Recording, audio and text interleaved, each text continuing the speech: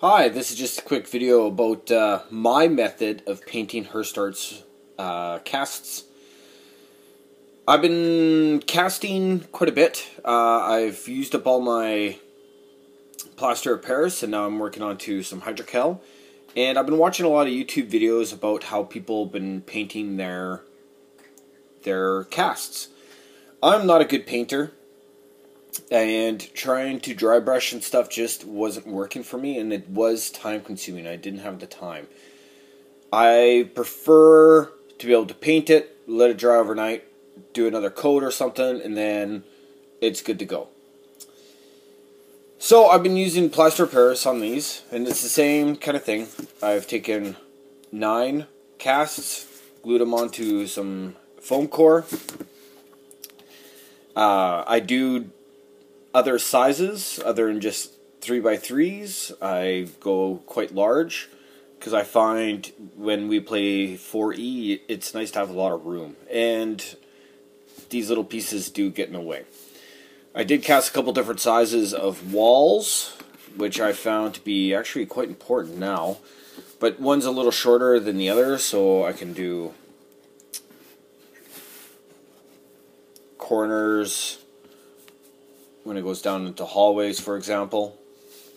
But this is the raw color of Plasters Paris when you do your cast.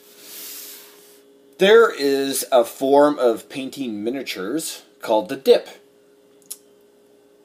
Uh, Army Painter has an amazing dip. It will make, it turns a half-assed painted miniature into really good. But it's expensive. Here in Canada, it's around $32 plus tax for a small tin. So I went on the internet and they said use Minwax. So I ended up buying some Minwax and I put it on one of my minis and it ruined it. Uh, I don't know what I did wrong. Maybe it was because it's dark walnut, or maybe I grabbed the wrong Minwax. It just was not what I was hoping to do, like what the Army Painter did. So now I got a bunch of this stuff sitting around, and I had really no purpose to use it for. So I started building all my Hirst Arts casts, and I'm starting to build my dungeons for my players and me to enjoy.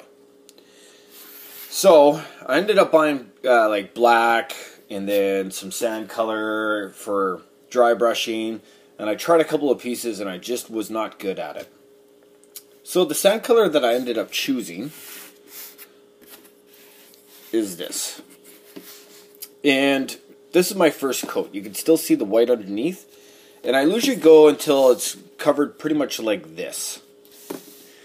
Uh, you do see some white coming through but it won't make a difference here right away. I use that Minwax wood finish and I coat the floor. It's pretty shiny, it's glossy, it does give it a really hard finish, but it does bring out all that texture. So this is the first in one coat, and this also had the same white pieces that I was missing, and Plaster of Paris, uh, I haven't tried the Hydrocal yet, but Plaster of Paris just soaks in the paint.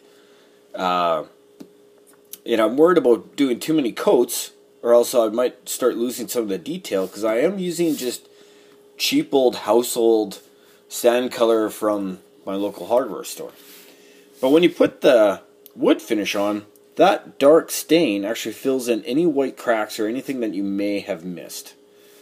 Uh, it does stink, uh, I live in an apartment, so I I do it with all the doors and windows open, and it does stink up the apartment quite good. The only thing was is now that I had this finished, and then you take your mini and you put them on there, it almost looks too glossy, too shiny. And a lot of people had mentioned that I play with that that really doesn't have the best look. So Army Painter Paints has uh, a dull coat. It's just as good as Testors, but you get a bigger can and for almost the same amount of money. So, what I do is I blast my tile with that dull coat. So now, let me put this on. It This is way more shinier than this.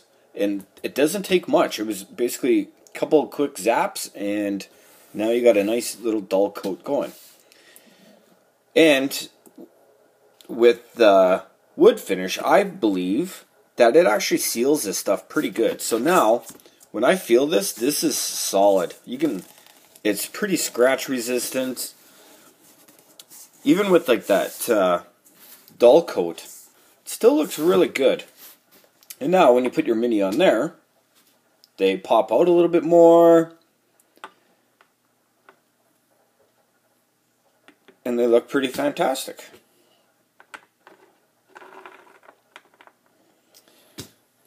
So I've been doing this for a little while, and I was like, well, I wonder if you could do it for other colors. So I ended up getting uh, Sedona Red, and I thought, you know what, I want to try it. So I did the same thing. I used my uh, sandstone as my base color. Then I put the red on. And the red's a little bit thinner. It doesn't fill in the cracks nearly as good as that dark walnut, but it still hides and goes in all the surfaces. So this is one pre uh, my dull coat. So when you blast it with dull coat, it still looks pretty good. Oops. And the reason why I went to a different color and stuff is because just to add a little bit more flair to the dungeon. But then I was like, well, I do have the Hirst Arts cavern walls, and I want to start doing different colors. It helps add uh, some little flavor to the to the table. So I was like, I wonder if I could do it with green. So I picked up some green and I tried it out. It's very mossy looking. But I think it looks pretty fantastic, actually. So I did a one floor tile and a wall. Or you can put the wall up. And then when you put your mini down, kind of pops out a little bit. But I think this will look really good and a good, easy, quick method to use on my cavern walls. So I just wanted to share that with you. The people out there that may not be good dry brushers or people that are scared to actually paint and stuff. Uh, I ended up having that Minwax wood polish floating around and thought might as well give it a try. And actually I'm glad that I did because uh, I think it looks pretty fantastic. Quick, fast,